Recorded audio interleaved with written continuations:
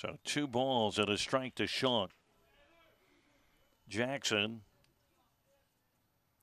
to the plate. Swung on high fly ball, deep right center field. Going back, that is a home run to win the ball game.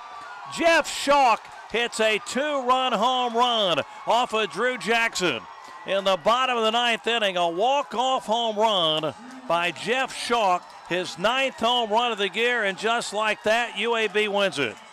Drew Jackson, who had been so dominating all afternoon, gives up a two run home run to Jeff Schalk in the bottom of the ninth inning, and UAB is going to move on to Saturday. A two run home run by Jeff Schalk. Drew Jackson had not given up a base hit from the third inning until the ninth inning.